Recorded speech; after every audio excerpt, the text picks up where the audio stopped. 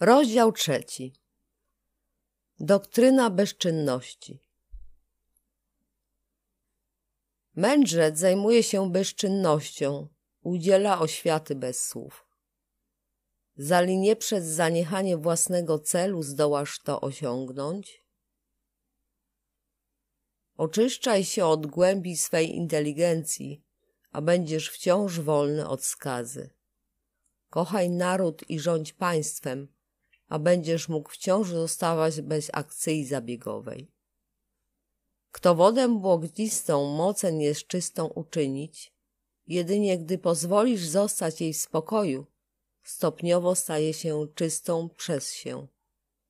Kto mocen zapewni stan bezwzględnego spoczynku, czasowi daj płynąć jedynie, a stan spoczynku zniesie się powoli.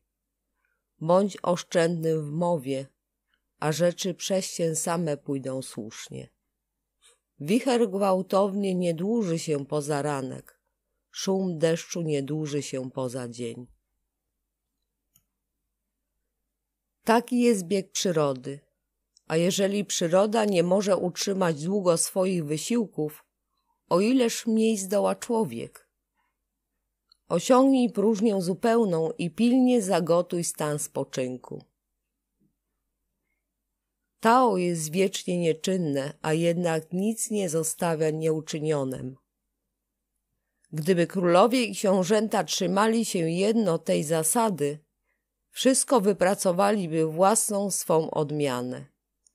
Gdyby zarządzający odmianę mimo to chcieli działać, powściągnąłbym ich prostotą bezimiennego Tao. Prostota bezimiennego Tao kasuje pragnienie. Skasowanie pragnienia daje spokój, a stąd państwo naprostowuje się samo. Rzeczy w świecie najsłabsze górują najnadmocniejszymi. To, co nie ma zawartości, wchodzi tam, gdzie nie ma szczeliny. Stąd wiem o przewadze Tao.